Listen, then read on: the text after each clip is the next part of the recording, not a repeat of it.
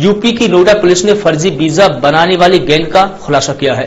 Knowledge park थाना police ने फर्जी वीज़ा बनाने वाले विदेशी नागरिक को गिरफ़्तार किया है। पुलिस ने बताया है कि दस हज़ार रुपये में फर्जी वीज़ा बनाकर बेचता था। बताया जा रहा है कि अब तक ढाई सौ से अधिक लोगों के बिज़नेस, एजुकेशन, टूरिस्ट वीज़ा बनाए गए हैं। पुलिस ने आरोपी के पास से तेरह फर्जी पासपोर्ट, इक्कीस फर्जी स्कैन वीज़ा, सोलह एटीएम कार्ड सहित 30 मोबाइल फ़ोन और 20 एक्टिव सिम बरामद की है। इसके अलावा पुलिस ने आरोपी से दो लैपटॉप और एक बाइक कार भी जब्त की है। पुलिस इस पूरे मामले की जाँच पड़ताल कर रही है।